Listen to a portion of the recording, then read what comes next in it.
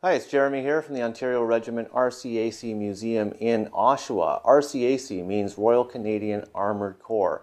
Uh, so we are one of the RCAC regimental museums uh, in Canada. And in our gift shop, we wanted to have the definitive collection of Canadian Armoured Corps history books.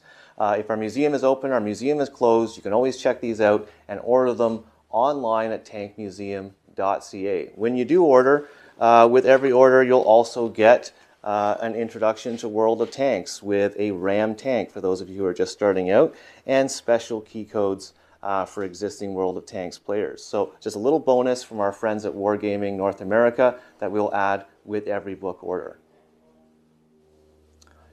So uh, today we're looking at uh, another book in our gift shop collection, Designing the T-34. As I said before, not all the books uh, in our collection, what we are trying to build is a definitive Armored Corps uh, collection of books uh, for any enthusiast or historian.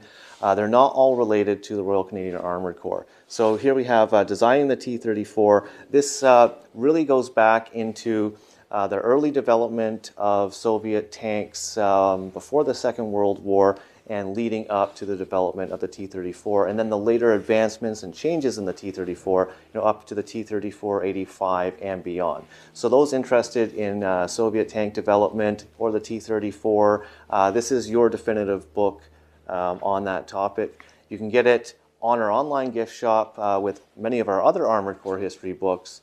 That's tankmuseum.ca.